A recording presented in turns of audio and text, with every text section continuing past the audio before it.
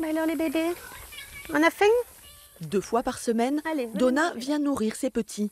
Une vingtaine de chats livrés à eux-mêmes, dont la bénévole prend soin depuis deux ans, plutôt que de les placer en refuge. Là, toutes les femelles ont été stérilisées. Les mâles seront stérilisés petit à petit. D'autres points de nourrissage, comme celui-ci, ont été mis en place autour de Montpellier. En tout, près de 150 chats errants sont ainsi pris en charge par l'association. On fonctionne avec des dons.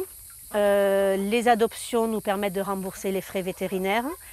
Et après, nous avons des vétérinaires très conciliants qui attendent que l'argent rentre pour, euh, pour qu'on puisse régler les factures. Quand il n'y a plus d'argent, eh ben, on achète avec nos propres deniers.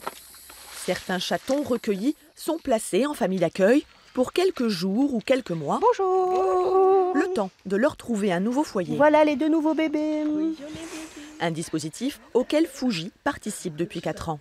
On connaît le, tempérament du chat au bout de bah, quelques semaines. euh, donc quand les, adoptants arrivent, euh, on arrive à leur dire euh, bah, qu'est-ce qui le rendrait euh, heureux. Quoi. Donc c'est vrai qu'il y a un travail qui est très personnalisé par rapport à chaque chat. Et chien, ils ont tous leur caractère, donc bah, c'est vrai qu'ils n'ont pas tous les mêmes besoins. Fuji héberge aussi des chiens depuis peu, des toutous, confiés par une autre association.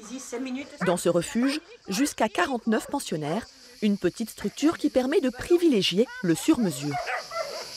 Il faut vraiment mettre le bon maître au bout de la bonne laisse, beaucoup discuter avec les gens, voir ce qu'ils attendent d'un chien, parce que ça va vraiment changer leur vie et pas se tromper. En fait, on est vraiment responsable. Un chien dans une association ne décide pas de partir avec une famille. C'est nous qui décidons pour lui. Et quand on se trompe, c'est lui qui paye.